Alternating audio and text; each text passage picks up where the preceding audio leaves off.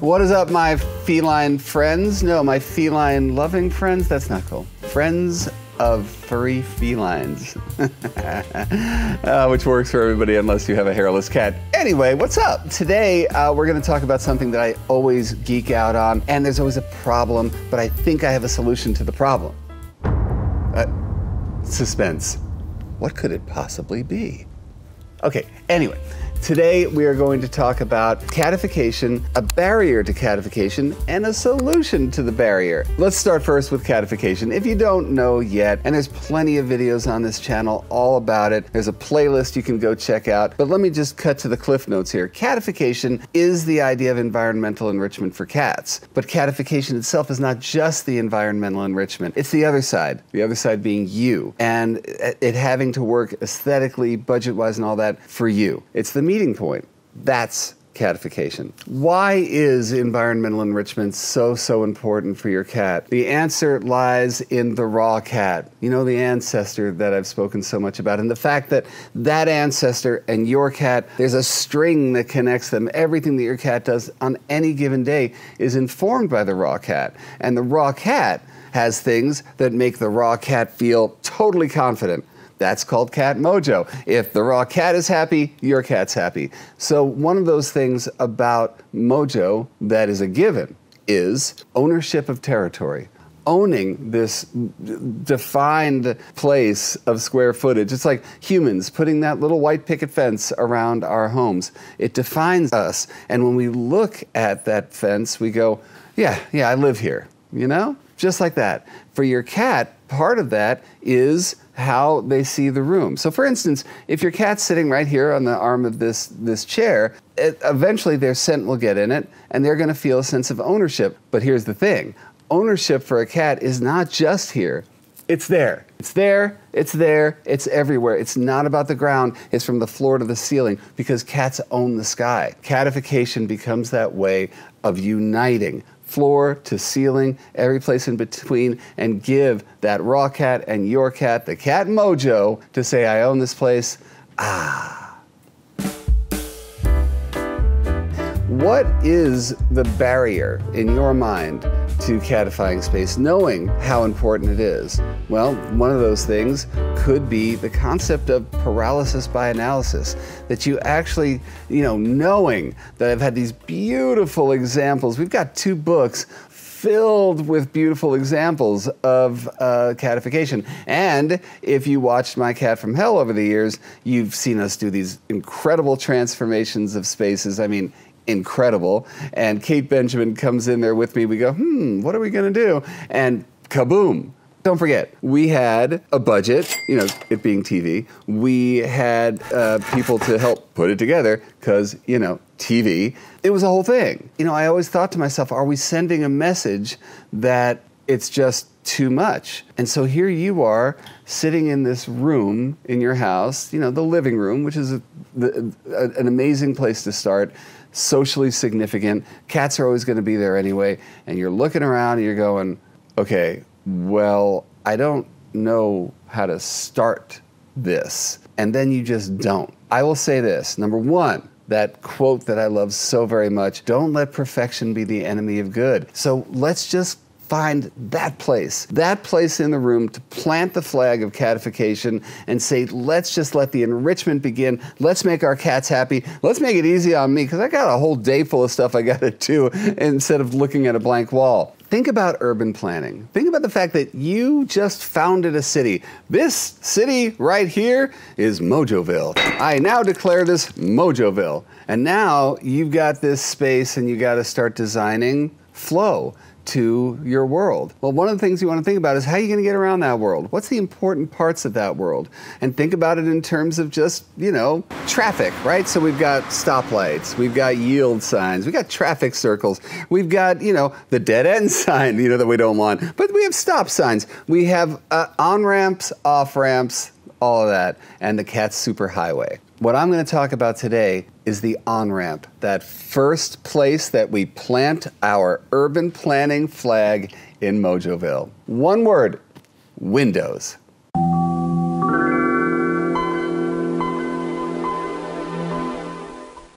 I'm waiting for like a fanfare, like bugles. Why? Why is this the one place that's so important? The first thing is cats are like little feline sundials. If there's a sunny spot in the house, there's going to be a cat in that sunny spot. I don't care if it's on the floor or the ceiling, there's going to be a cat in that spot. They love the heat, the vitamin D that comes in there. They just feel that nice, warm loveliness. Where is it going to come through? Where's the sun coming through? What is that? Yes, the window.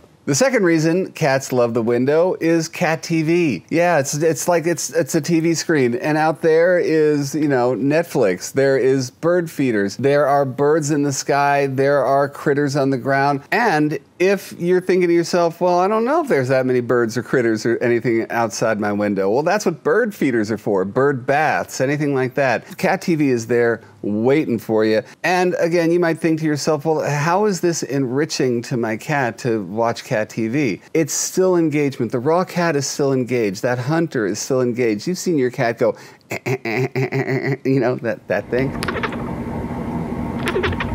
The raw cat is still engaged. I know you might think that that's awfully frustrating. It's not. That's why you play with your cat later in the day. But right now, it's just a way of engaging them. So now we've got the sundial, we have got cat TV, we got passive raw cat engagement. You understand now how the window is just your really close buddy pal.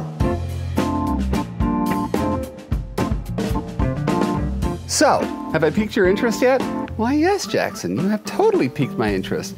But how do I catify a window? Oh, I am so glad you asked. I'm so glad you asked. Let's talk about how to catify that window. The first thing I need you to know because this is another source of paralysis sometimes. It can work at any budget. You want to spend some money, talk to your aesthetic, we can totally do that. You want to just not spend any money, we can do that, or somewhere in the middle. So the first thing you think about when it comes to, I don't want to spend any money, DIY this thing, man. I mean, look, look at this chair right here right? If I just push this right up against the window, then I got someplace for me to sit. My cat's hanging back there. A lot of us do that anyway. The couches are up against the living room windows, chairs, or whatever. But that's a great place to start. But you can do anything as long as it's window height. There is something that you can move into the window so that your cat can just sit there. See how simple that is? Now you want to put the cherry on top, then you put one of those nice little cat beds. We call it a chill mat. And you can get one at the Jackson Galaxy store, just saying. But you can also, oh, that's right right, Jackson, I don't want to spend any money. Take a favorite blanket that your cat loves to sit on, a sweatshirt, something like that. Even better, something that smells like you. It doesn't matter as long as they sit on it. And by the way, sometimes cats just don't like to sit on anything. That nice, cool console end table, they're fine with that too. Let your cat tell you what they want, but in the meantime, you see what I'm saying? You don't have to spend anything to start planting your flag in Mojoville.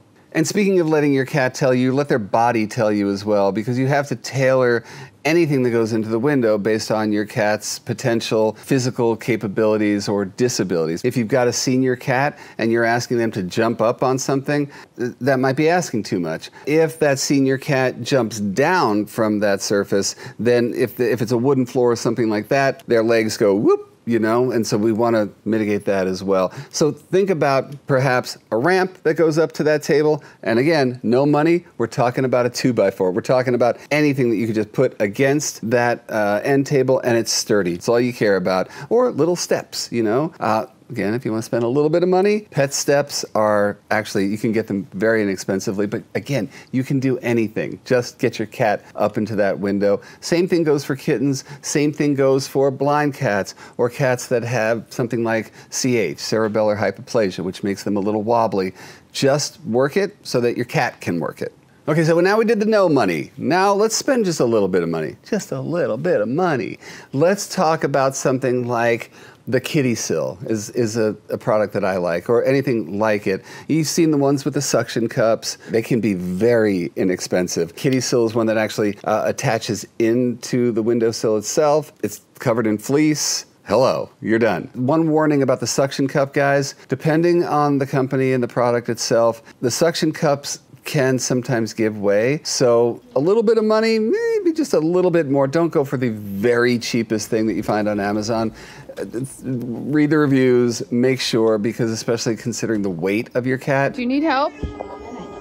I got you. All it takes is that suction cup coming off once, and your cat's never going to go there again. You know, also depending on the height of the window, I mean, a lot of you guys have windows that are either floor to ceiling, you lucky guys, or it can be, you know, even like a couple of feet off the ground. There are these wonderful uh, cardboard loungers. You know, they're made out of strong corrugated cardboard, which are fantastic because they absorb scent. Uh, they become those scent soakers that we really want in anything that's in the house. Yes, I have another made up word. The scent soaker is something, oh, wait, hold on, that soaks in your cat scent, gives them that sense of mojo and belonging. Cardboard is a great thing for that, and again, not expensive at all.